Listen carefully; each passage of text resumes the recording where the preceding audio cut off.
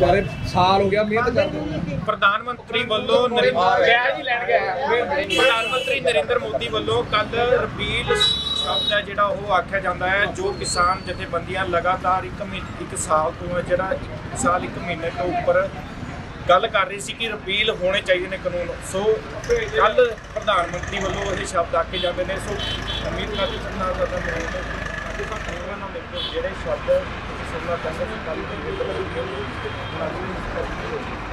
ਦੇਖੋ, ਜਿਹੜੇ ਸ਼ਬਦ ਬੋਲੇ ਨੇ, ਉਹ ਤਨਵੀਰ ਬੋਲੇ ਨੇ। ਐਮਐਸਪੀ ਬੋਲਿਆ ਐਮਐਸਪੀ ਬਾਰੇ ਵੀ ਕਮੇਟੀ ਜਾਂਦੇ ਨੇ ਵੀ ਬਣਾਈ ਹੈ ਕੁਝ ਐਮਐਸਪੀ ਡਿਵੈਲਪਮੈਂਟ ਅਸੀਂ ਮੰਗਦੇ ਹਾਂ।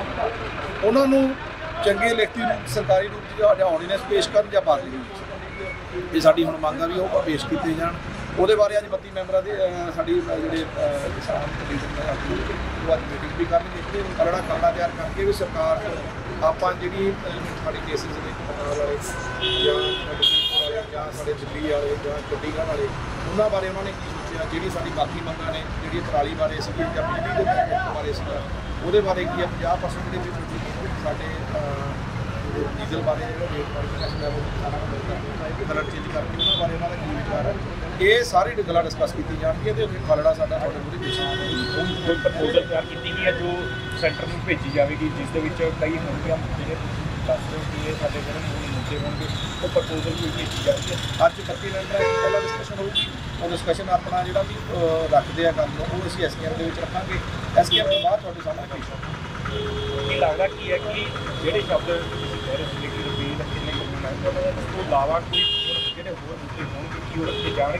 ਕਿ ਦੇ ਵਿੱਚ ਕੋਈ ਫੈਕਟਰ ਜਿਹੜੇ 26 ਜਨਵਰੀ ਨੂੰ ਅਹ, ਗਏ ਸਨ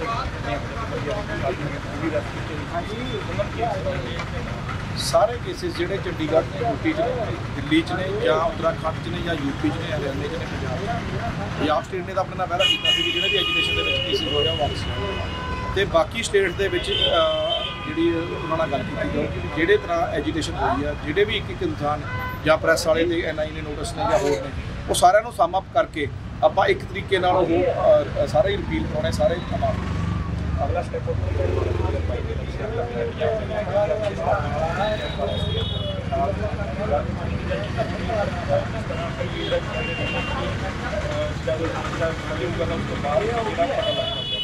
ਲਗਭਗ ਤਕਰੀਬਨ ਸਮਾਪਤੀ ਵੱਲ ਹੈ। ਕੀ ਸਟੈਪ ਆਊਟ ਜਿਹੜਾ ਅਗਲਾ ਕੀਤਾ ਜਾ ਰਿਹਾ ਹੈ? ਪੁੱਛਿਆ ਸਾਨੂੰ ਲਿਖਤੀ ਰੂਪ 'ਚ ਸਫਲ ਹੋ ਲੈਣ ਦੀ ਅਨੰਦਪੁਰ ਵਾਲਾ ਜਿਹੜਾ ਆਪਣਾ ਰਜੀਵ ਲਾਉਂਗੋਵਾਲ ਸਮਝੌਤਾ ਸੀ ਉਹ ਵਿੱਚ ਰਹਿ ਗਿਆ ਸੀ। ਇਸ ਕਰਕੇ ਉਹਦਾ ਡਰ ਸਾਨੂੰ ਜ਼ਿਆਦਾ ਵਾ। ਅਸੀਂ ਪਹਿਲਾਂ ਰਜਿਸਟਰਡ ਤਰੀਕੇ ਅਹ, ਖਤਮ ਕਰ ਲਈਏ ਫਿਰ ਤੁਹਾਡੇ ਕੋਲ ਰਿਵਿਊ ਕਾਹਦੀ ਸਾਹਿਬ ਆਖਰੀ ਸਵਾਲ ਹੈ। ਮੋਟਾ ਪਤੀ ਕੀ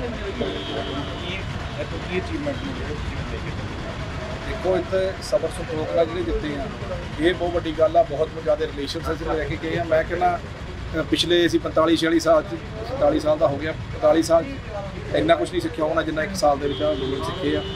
ਔਰ ਉਹ ਬਹੁਤ ਲੋਕ ਸਾਨੂੰ ਮਿਲੇ, ਜਿਨੇ ਕੁਰਬਾਨੀ ਵਾਲੇ ਲੋਕ ਮਿਲੇ, ਜਜ਼ਬੇ ਵਾਲੇ ਲੋਕ ਮਿਲੇ। ਉਹ ਸਾਰੇ ਇਕੱਠੇ ਹੋਏ ਇਸ ਜਗ੍ਹਾ ਤੇ ਤਾਂ ਇਸ ਜਿੱਤ ਨੂੰ ਪ੍ਰਾਪਤ ਹੋਈ। ਜਿਹੜੀਆਂ ਰੂਹਾਂ ਸਾਡੇ ਤੋਂ ਵਿਛੜ ਗਈਆਂ ਨੇ, ਉਹਨਾਂ ਨੂੰ ਅਸੀਂ ਯਾਦ ਕਰਦੇ ਹਾਂ। ਸ਼ਰਧਾ ਦੇ ਫੁੱਲ।